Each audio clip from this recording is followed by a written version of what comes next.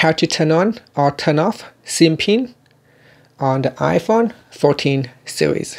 First, swipe up to go back to the home screen. On the home screen, tap on the settings icon. In settings, go down and tap on cellular. Then go to your carrier network section and then tap on SIM pin.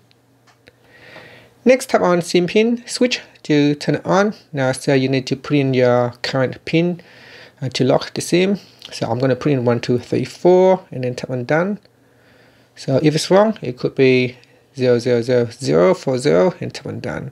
Now depending on your carrier, uh, your SIM pin might be different to mine. So just check with your network carrier and see what is their default SIM pin. And to switch it off, just tap on the toggle button and then we put in the SIM pin to switch it off. And that's it. Thank you for watching this video. Please subscribe to my channel for more videos.